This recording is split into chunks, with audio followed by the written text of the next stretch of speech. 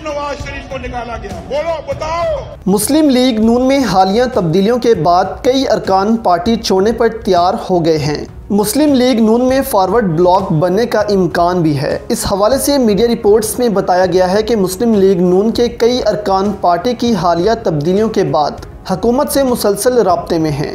اکثر لیگیوں کا خیال تھا کہ شہباز شریف اہم حلقوں سے معاملات طے کر لیں گے۔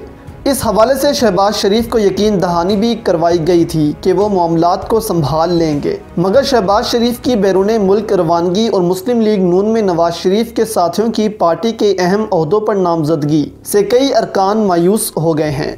مسلم لیگ نون کے دس سے بارہ M P S Tehreek Insaf سے مسلسل رابطوں میں ہیں اور ان میں سے پانچ ارکان وہ بھی ہیں جنہوں نے اسپیکر الیکشن میں پارٹی امیدوار کی بجائے چودھری پرویز الہی کو ووٹ دیا تھا۔ یہ ارکان گرین سگنل ملنے پر فارورڈ بلاک یا اپنی پارٹی سے الگ ہو سکتے ہیں۔ ذرائع کے مطابق تحریک انصاف کے مرکزی رہنما نون لیگ کی ممکنہ جارحانہ پالیسی کا توڑ کرنے کے لیے ان کو مناسب وقت میں استعمال کریں گے اور ان ارکان کو خصوصی فنڈ اور ان کے حلقوں میں فری ہینڈ دینے کی بھی یقین دہانی کروائی جائے گی۔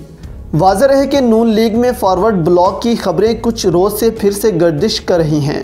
سعد رفیق اور جوید لطیف بھی پارٹی قیادت سے ناراض ہیں۔ جبکہ کچھ خبریں یہ بھی ہیں کہ سعد رفیق کا کہنا ہے کہ وہ مزید شریف خاندان کی غلامی نہیں کر سکتے۔